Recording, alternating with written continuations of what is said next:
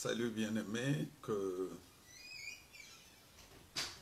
notre Dieu soit loué pour la grâce, pour sa bonté et l'opportunité qu'il nous accorde encore de nous retrouver aujourd'hui afin de partager sa parole. Nous allons prier. Nous bénissons ton Saint-Nom car tu es le Dieu fidèle, tu es le Dieu puissant. Merci Père.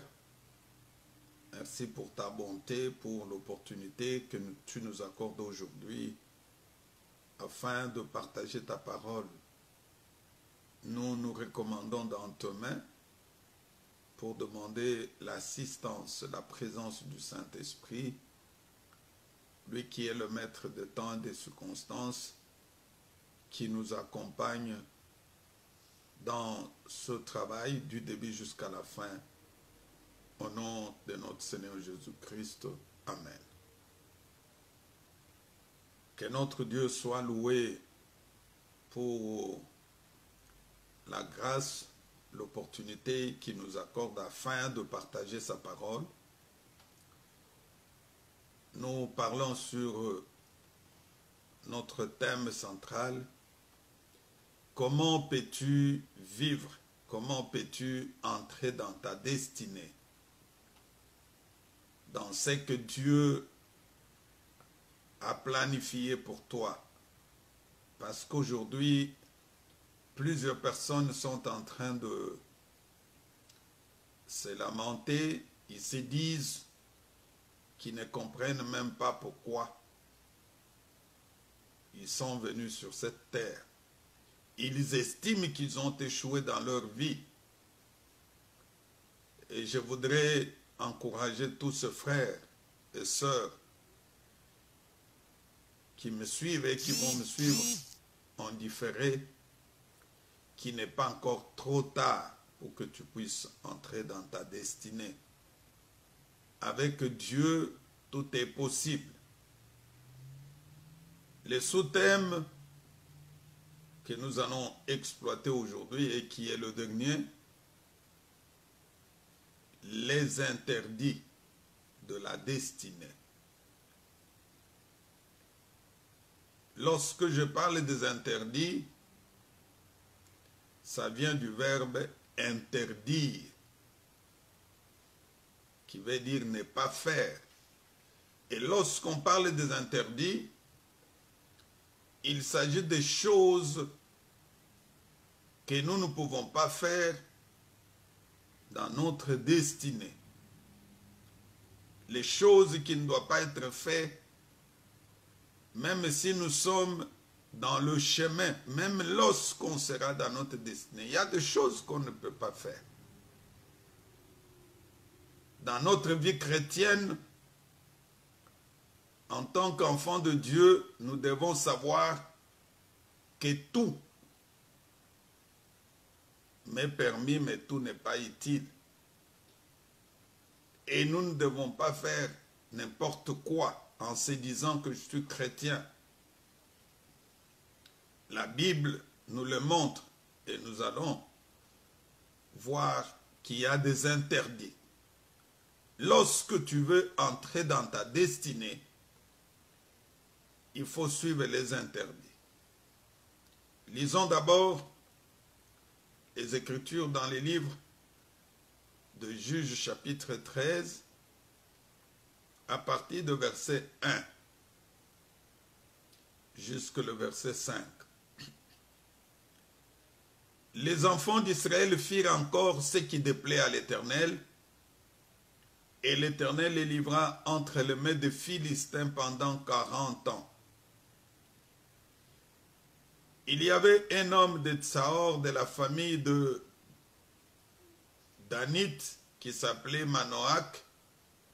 Sa femme était stérile et n'enfantait pas. Un ange de l'Éternel apparut à sa femme et lui dit, Voici tu es stérile et tu n'as point d'enfant. Tu deviendras enceinte et tu enfanteras un fils. Mais Prends bien garde, ne bois ni vin, ni liqueur forte, et ne mange rien d'impur, car tu deviendras enceinte et tu enfanteras un fils.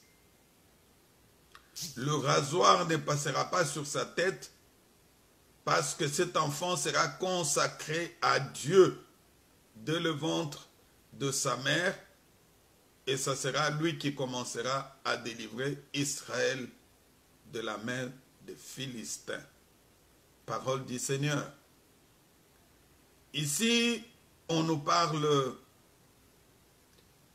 d'une histoire qui s'était passée dans la vie des enfants d'Israël lorsque Israël a marché à l'encontre de la parole de Dieu. L'Éternel les a livrés dans le mets des Philistins. Pendant 40 ans, ils étaient en train de souffrir. Et il a fallu que Dieu agisse pour la délivrance de son peuple.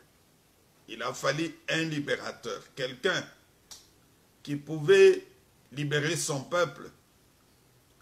C'est ainsi qu'il va se choisir une famille. Dieu va choisir une famille qui était d'abord stérile. La famille dont le mari s'appelait Manoach et sa femme ne mettait pas au monde. Sa femme était stérile l'ange de l'Éternel est apparu à cette femme pour lui dire, voici tu es stérile, tu n'as point d'enfant, tu deviendras enceinte et tu enfanteras un fils. Mais, prends bien garde, là Dieu est en train, l'ange est en train de lui dire des choses qu'elle ne doit pas faire avant de recevoir cette grossesse, même lorsque le recevra la grossesse. Il dit, prends garde, ne bois ni vin, ni liqueur forte, et ne mange rien d'impur, car tu deviendras enceinte et tu enfanteras un fils. L'ange lui donne des interdits, des choses qu'elle ne doit pas faire pendant qu'elle attend la promesse, parce que elle devrait devenir enceinte et mettre au monde un enfant. C'est cet enfant-là qui avait la mission de libérer Israël de la main de Philistins. Et plus loin, l'ange lui donne aussi des interdits pour cet enfant qui va naître. Il dit, le rasoir ne passera point sur sa tête parce que cet enfant sera consacré à Dieu de le ventre de sa mère. Et ce sera lui qui commencera à délivrer Israël de main de Philistins. Dieu donne des interdits, non pas seulement pour la maman de l'enfant, mais même pour l'enfant qui va naître. Un enfant choisi, élu depuis le ventre de sa mère, même avant la conception. Dieu donne des interdits avant la conception de cet enfant. Et ce qui fait que sa mère va respecter les interdits de ne pas boire ni vin, ni liqueur forte, ni manger des choses impures. Et lorsqu'elle a respecté ces interdits, elle a mis au monde un enfant. Cet enfant s'appelait Samson. Et c'est lui qui a libéré Israël de main de Philistins. Dieu donne des interdits pour Samson et que le rasoir ne passera pas sur sa tête. Bien-aimé, je voudrais te dire que les interdits sont nécessaires pour notre vie. Parce que Dieu donne des interdits pour que nous atteignions, que nous puissions entrer dans notre destinée. Mais quelque part, il y a aussi le diable qui donne ses interdits. Mais les interdits du diable, ce n'est pas pour notre bien, mais les interdits du diable, c'est pour notre destruction. Quand il donne ses interdits, c'est pour la destruction. Tu vas trouver les gens qui vont consulter les marabouts, les fétichères. Ils ont plein d'interdits qu'ils respectent. Et on peut lui dire de ne pas se laver pendant une semaine, il ne le fera pas. On peut lui dire de ne pas euh, euh, euh, manger ceci ou cela, il le fera. Mais nous, en tant qu'enfants de Dieu, lorsque Dieu nous donne des interdits pour notre bien, est-ce que nous le respectons? Nous les suivons. Regarde l'exemple de la femme de Lot. Dieu va envoyer l'ange pour le faire sortir dans la ville de Sodome et Gomorre parce qu'il voulait brûler cette ville. L'ange vient, il le fait sortir par force. Mais en, en sortant, il leur dit de ne pas regarder par derrière. Ça, c'est un interdit. Il dit ne regardez pas. Mais curieusement, lorsqu'ils avancent, la femme de Lot va regarder par derrière. Elle a brisé l'interdit. Et qu'est-ce qui est arrivé? La Bible dit, elle était devenue la statue À cause de quoi? À cause de la désobéissance. Mon frère, ma soeur, toi qui veux entrer dans ta destinée, as-tu des interdits?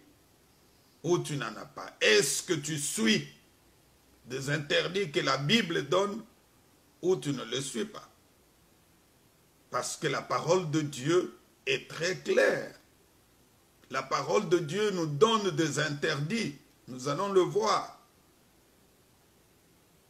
La parole de Dieu est pleine d'interdits qu'un chrétien ne peut pas faire. Et Dieu a communiqué ces interdits même à son serviteur. Lisons le livre d'Exode. Exode chapitre 20, à partir de verset 1. Écoute ce que la parole de Dieu.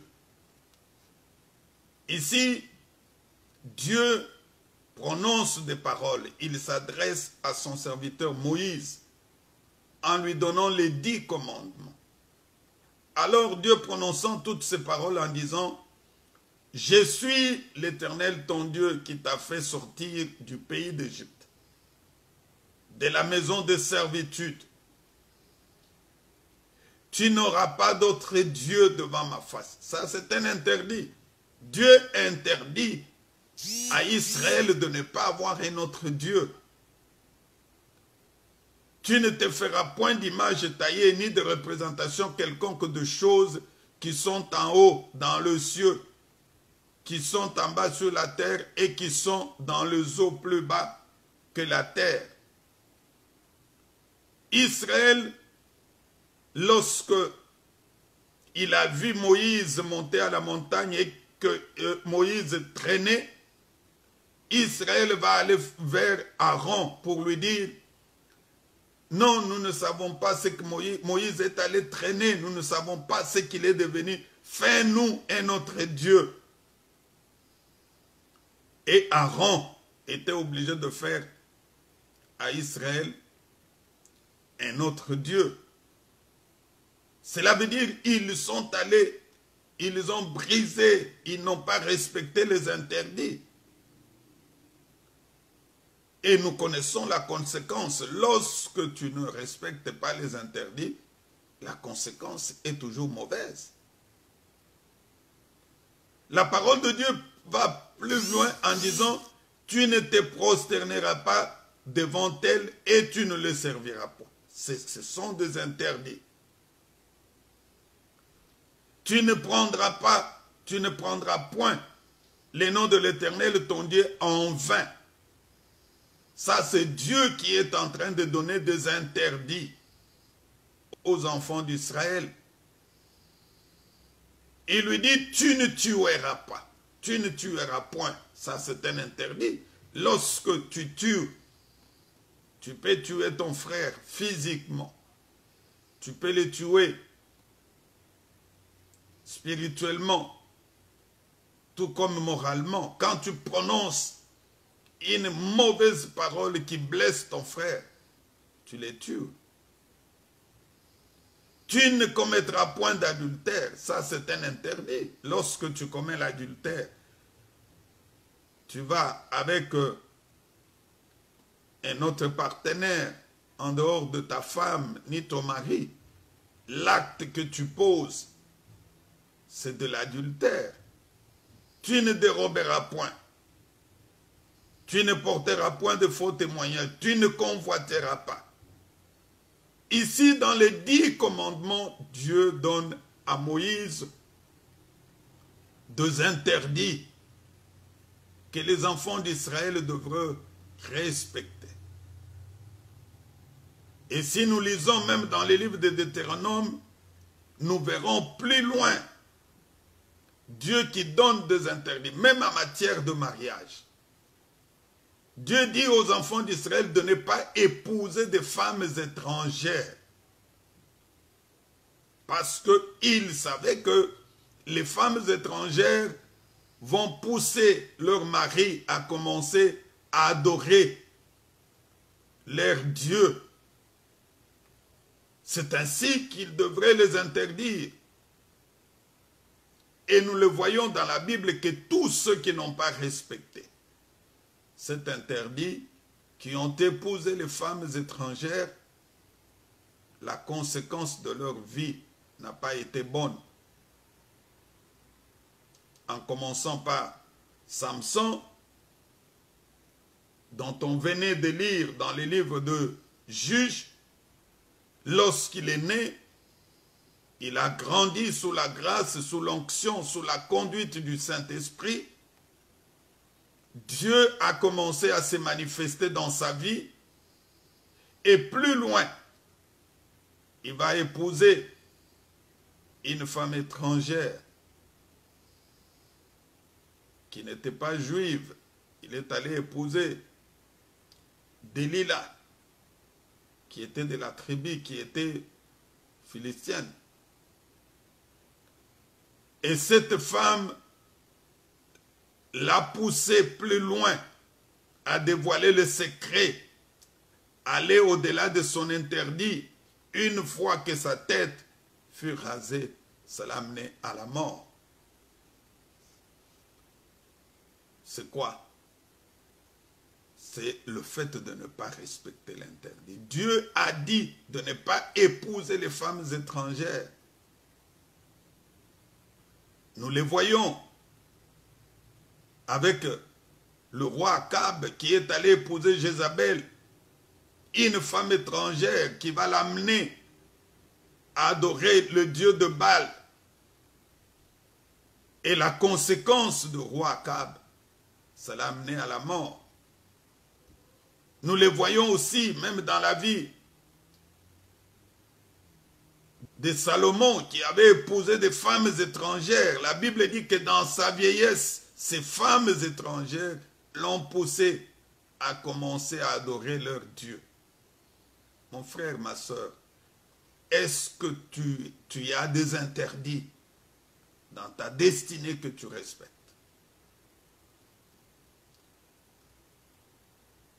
Parce que tu ne peux pas entrer dans ta destinée sans avoir des interdits. Non. Il faut que tu aies des interdits, que tu respectes, que tu suis. Et cela te permettra d'être en ordre avec ton Dieu. Ça te permettra effectivement de suivre ta conduite en tant que chrétien. Et tu entreras dans ta destinée. Regarde lorsqu'on devrait choisir la femme pour le roi, lorsque la reine Vasti avait désobéi au roi.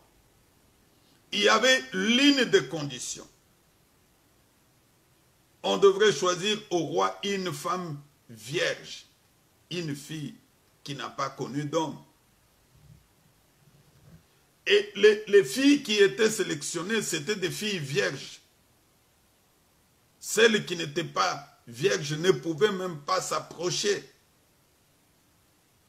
Mais si toi, tu n'as pas des interdits en matière de sexualité pour dire en tant que jeune fille, je dois me marier vierge, je dois garder ma virginité, automatiquement tu es exclu. Qu'as-tu comme interdit en matière sexuelle, toi mon frère, ma soeur qui me suit La chasteté aussi, c'est un interdit. Un frère s'est dit, moi, la première femme que je connaîtrai dans ma vie, c'est celle que je vais épouser. Ça, c'est un interdit. Et ça pourra te permettre de marcher dans cet interdit jusque le jour de ton mariage. Aujourd'hui, nous avons de chrétiens qui n'ont pas d'interdit. Oui, si peut-être dans le passé, tu avais mené une vie de désordre en matière sexuelle, une fois que tu viens dans le Seigneur, tu dois avoir un interdit. Tu t'es dit, désormais, à partir d'aujourd'hui, je ne commettrai l'acte sexuel que lorsque je me marierai. Que tu sois frère, que tu sois soeur. Nous en avons vu ceux qui, qui se sont donné cet interdit de dire j'ai mené une vie de désordre. C'est dans le passé. Christ m'a pardonné. Christ m'a abandonné. Je voudrais aujourd'hui ne plus revenir sur ces choses. Et je poserai l'acte sexuel le jour où je me marierai. Si le Seigneur permet que le temps qui te sépare de la décision jusqu'au jour de ton mariage est de 5 ans, tu restes dans cet état pendant 5 ans. Voilà ce qui peut te permettre d'entrer dans ta destinée. La vie chrétienne est une vie pleine, qui est vraiment pleine d'interdits.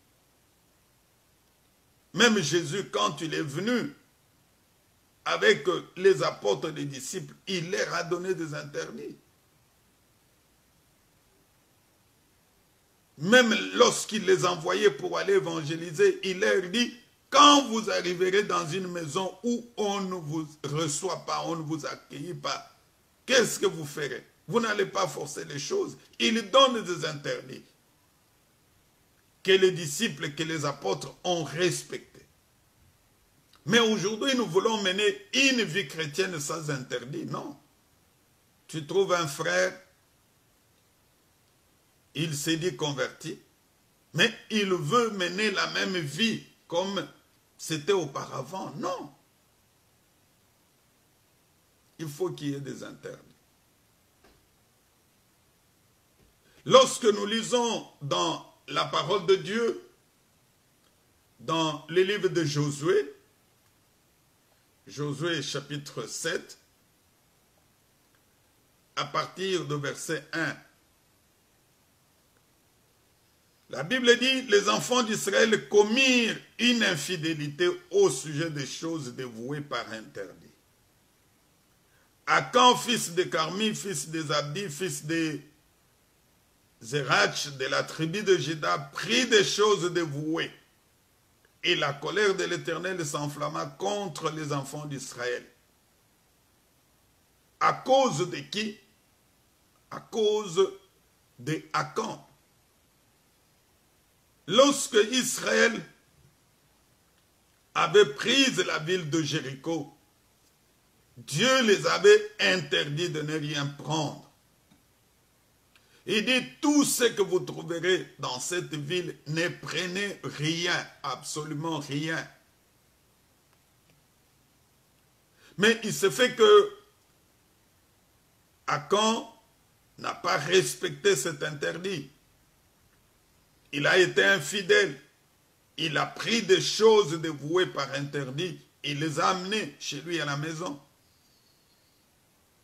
Il amène ces choses, mais cette fois-ci, Israël devrait maintenant affronter la ville de Haï. Et lorsqu'ils sont allés, Israël a été vaincu. Il rentre, Josué et tous les anciens se réunissent en se posant des questions. C'est pas possible. Nous nous sommes retrouvés devant la grande ville de Jéricho. Elle est tombée devant nous. Comment cette petite ville d'Ehaï peut résister devant nous? Il doit y avoir quelque chose. C'est ainsi que Dieu les a révélés lorsqu'ils se sont humiliés devant lui.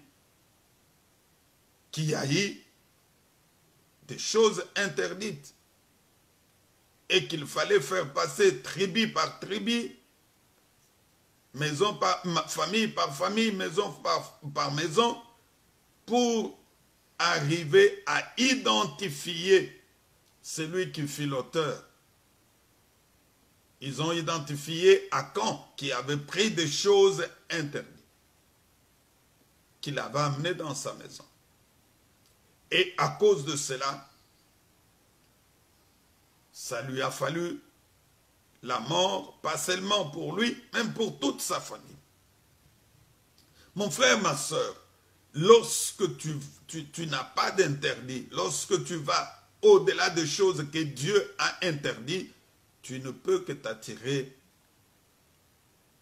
les malédictions, tu ne peux que t'attirer des mauvaises choses dans ta vie parce que tu n'as pas respecté ce que le Seigneur t'a dit.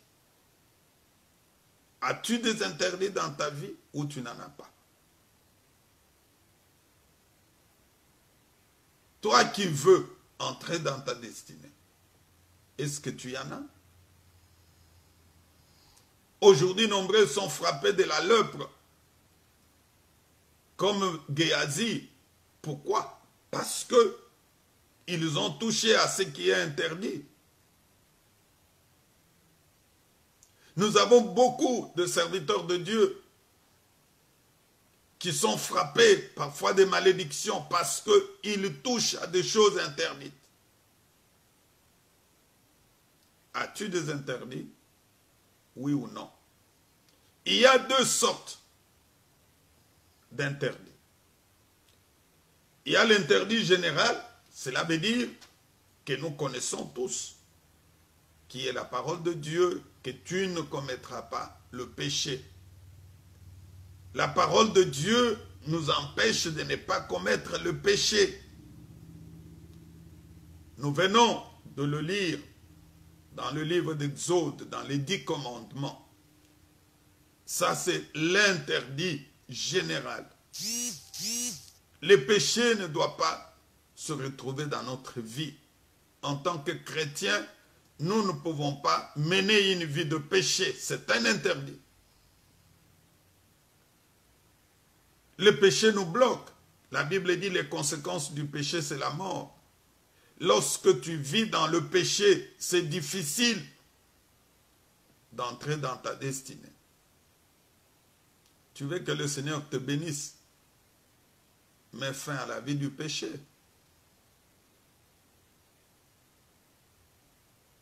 Même dans quel environnement où tu te retrouves. Il faut être comme les Daniel avec ses compagnons ils se retrouvent à Babylone. On leur présente les choses à manger. Ils avaient des interdits. Pour eux, ils disent, nous, nous ne mangeons que les feuilles. Ils avaient des interdits. Et c'est ce qui faisait leur force. Est-ce que tu ne peux pas aussi être comme ces bien-aimés-là? Daniel, Shadrach, Meshach, Abednego, qui avaient des interdits. Et c'est ce qui fait que même quand Daniel fut jeté dans la fosse au lion, Dieu ne pouvait pas l'abandonner. Dieu était avec lui parce qu'il avait des interdits dans sa vie. Même quand les autres, ils étaient jetés dans la fourneuse ardente, Dieu ne pouvait pas les abandonner parce qu'ils avaient des interdits.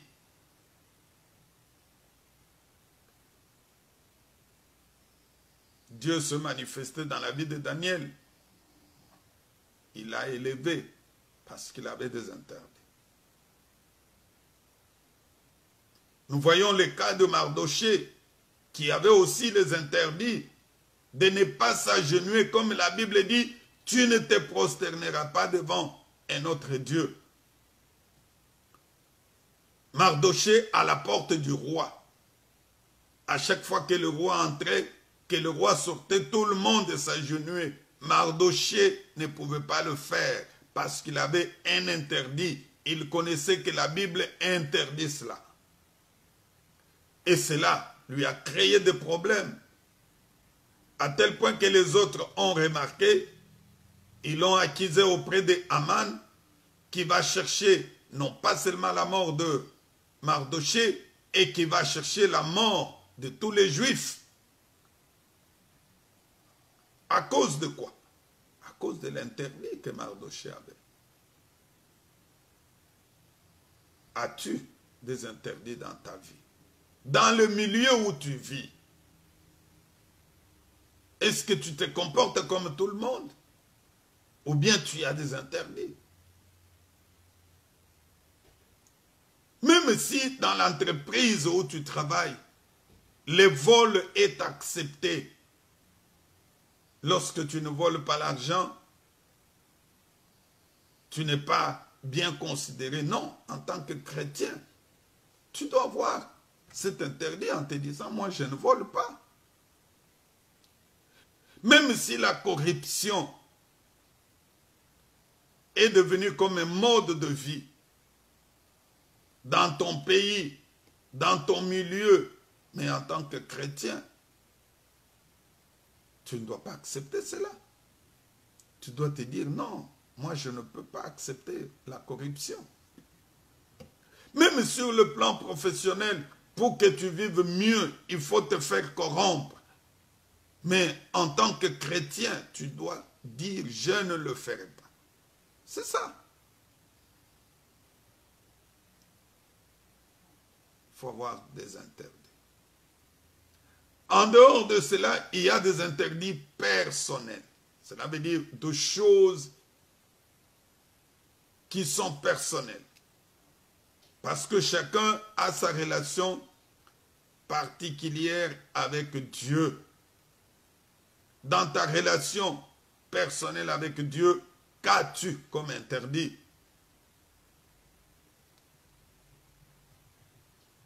J'ai suivi le témoignage d'un pasteur, un grand homme de Dieu.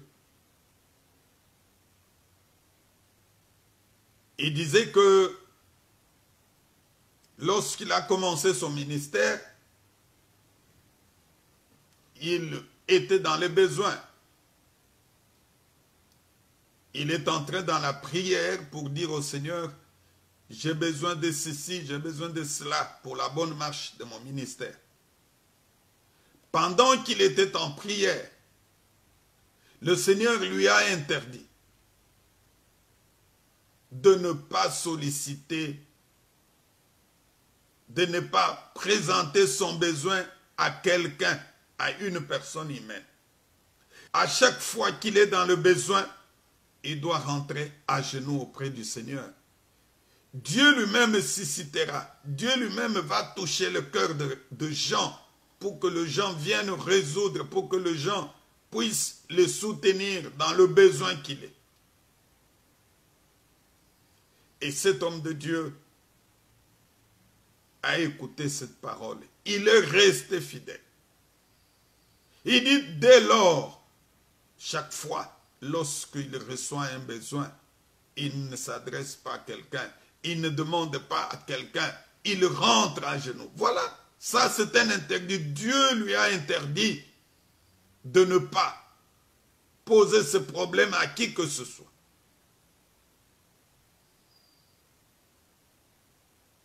Je ne dis pas que ça doit être général à tout le monde, non. Celui qui pose le problème ne commet pas un péché, et surtout si c'est pour le travail de Dieu. Mais je voudrais dire que, en tant que chrétien, tu dois effectivement avoir des interdits personnels. Je connais une maman,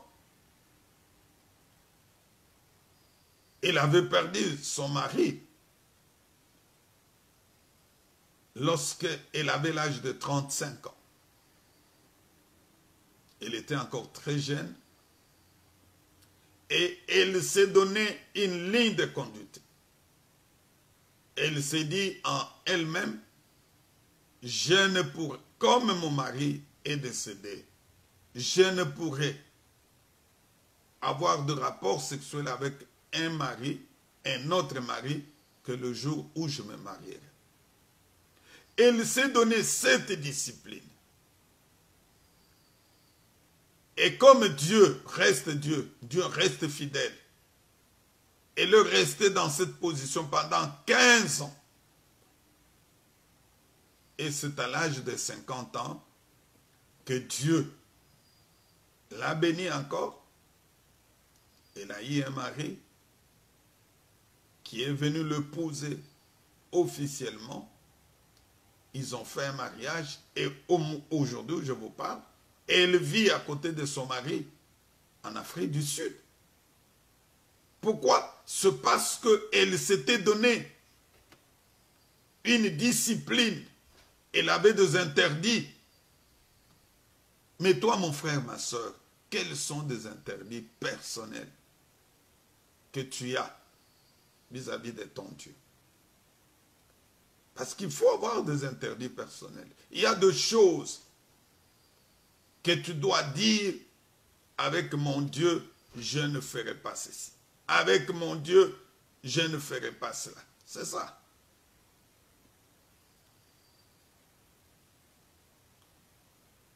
Dans les interdits personnels, tu peux te dire, ma vie sera une vie de sainteté. Une vie de sainteté je n'accepterai plus de marcher dans le péché. Je n'accepterai plus de faire quoi que ce soit. Il faut, que je mène une vie sainte, une vie agréable, une vie digne d'un enfant de Dieu. Dans les interdits personnels, tu peux te dire, je mènerai une vie de pureté. Mon frère, vous savez, tel que nous sommes là, chacun s'y connaît. Tu connais tes faiblesses. Mais dans ta relation avec Dieu, tu peux te donner des interdits. Un homme de Dieu avait de faiblesses sur le plan sexuel. Et lorsqu'il a compris que c'est par cette voie-là que le diable cherchait toujours à l'avoir facilement, il s'est interdit. Il a dit, dès aujourd'hui, si je dois recevoir une soeur ou une maman, je ne le ferai pas seul. Il faut que soit à côté de moi. Il avait pris l'option que son épouse soit là. C'était une façon de l'aider aussi à ne pas tomber dans le piège du diable. Tu te connais, je me connais très bien. Quels sont les interdits? Avons-nous pris pour notre bonne marche avec le Seigneur? Qu'est-ce que tu fais pour que le Seigneur t'accompagne afin d'entrer dans ta destinée? Mon frère, ma soeur, toi qui me suis, j'aimerais te dire qu'il n'est pas encore trop tard. Peut-être tu penses que Dieu t'a oublié, Dieu t'a donné le dos. Non. Le Seigneur est avec toi. Il va t'amener dans ta destinée. Tu y entreras. Parfois, tu traverses des temps difficiles. Tu passes de moments où tu te dis, est-ce que réellement Dieu est avec moi? Oui. Dieu permettra parfois que tu passes un chemin difficile, un chemin de tribulation. Mais c'est pour que tu entres dans ta destinée.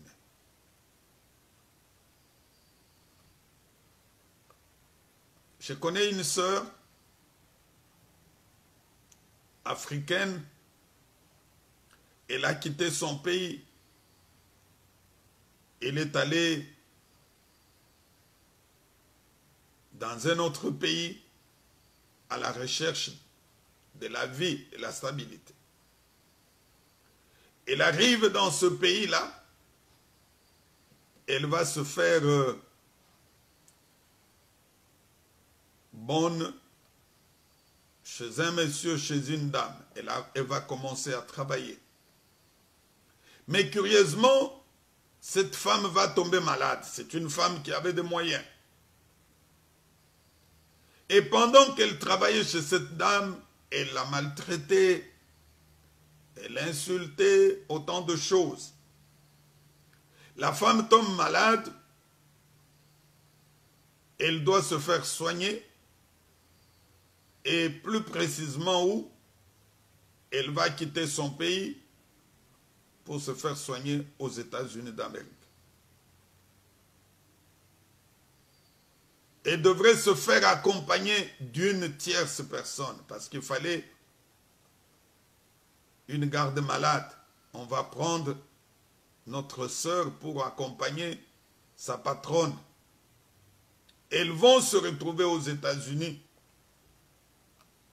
pour raison de santé de sa patronne. Mais pendant leur séjour, cette dame-là qui avait l'habitude de la maltraiter, elle continue à la maltraiter, ne sachant pas que cette fois-ci, elles ont changé l'environnement, elles ont changé le milieu. Elle va la maltraiter jusqu'à la tabasser. Ce qui n'est pas accepté, ce qui n'est pas toléré aux États-Unis parce que c'est un pays de droit. C'est ainsi que la sœur sera obligée, lorsqu'elle est allée se plaindre, il fallait qu'elle se sépare avec sa patronne. Et cette dernière, arrivée à la fin de son séjour, elle est rentrée dans son pays mais l'autre sœur est restée aux États-Unis parce que il fallait la protéger. Et c'est ainsi qu'elle est restée. Les démarches ont eu lieu jusqu'à ce qu'elle a obtenu ces documents aujourd'hui. Elle vit aux États-Unis, elle travaille, elle a une bonne vie. Tu vois comment est-ce que Dieu l'a amené pour qu'elle puisse se retrouver dans la situation actuelle. Dieu peut permettre que tu passes des temps difficiles, des temps de souffrance. Mais cela ne dit pas que le Seigneur n'est pas avec toi. Cela ne dit pas que tu ne dois pas avoir des interdits. Accepte de passer, de connaître de temps difficiles accepte de demeurer avec ton Dieu jusqu'à ce que tu entreras dans ta destinée. Je voudrais prier avec toi, toi qui m'as suivi du début jusqu'à la fin. Peut-être tu as suivi quelques parties. C'est encore possible que tu entres dans ta destinée. Et la vraie destinée que nous cherchons en tant que chrétiens, c'est le royaume de Dieu. Lorsque Christ reviendra, que nous soyons enlevés. c'est encore possible que tu entres dans ta destinée pendant que tu es sur cette terre. Parce qu'en tant que chrétien, nous devons vivre, nous devons avoir une bonne vie. Il faut que la gloire de Dieu se manifeste dans notre vie pendant que nous sommes sur cette terre. Est-ce que tu crois Crois-tu que Dieu est capable de faire quelque chose? Crois-tu que même là où tu avais échoué, même si tu as connu autant de déceptions, Christ est capable d'intervenir. Même si tu as des blessures intérieures, tu es capable d'entrer dans ta destinée. Ferme tes yeux, incline ta tête, je veux prier avec toi. Père, merci pour cette parole, merci pour cet enseignement. Parce que tu nous as parlé, tu nous as montré la vie de Gédéon, comment est-ce qu'il est entré dans sa destinée? Tu nous as montré comment Esther est entrée dans sa destinée. Joseph, David, autant de personnes. Et tu es le même Dieu qui nous parle et qui agit aujourd'hui. Je voudrais que mes frères, mes sœurs, qui étaient découragés, désespérés à partir de cette parole, que l'espoir puisse naître dans leur vie. Que toutes les blessures intérieures soient guéries immédiatement au nom de Jésus-Christ. Que tous ceux qui sont blessés à cause des déceptions, à cause des épreuves, à cause des êtres chers qu'ils ont perdus, que ces bien-aimés reçoivent la guérison spirituelle au nom de Jésus-Christ. Père, nous voulons entrer dans notre destinée. Tu n'as pas changé, tu es le même hier, aujourd'hui, éternellement. Que cette parole produise le fruit dans la vie de chacun de nous. Au nom de notre Seigneur Jésus-Christ. Amen. Que mon Dieu vous bénisse, toi qui nous as suivis pendant tout ce temps. Je voudrais vraiment que Dieu te bénisse. Tu peux t'abonner sur notre chaîne YouTube, Cité de la gloire de Dieu. Tu peux aussi partager nos vidéos avec d'autres bien-aimés et ce sera une bonne chose. Que mon Dieu vous bénisse. Amen.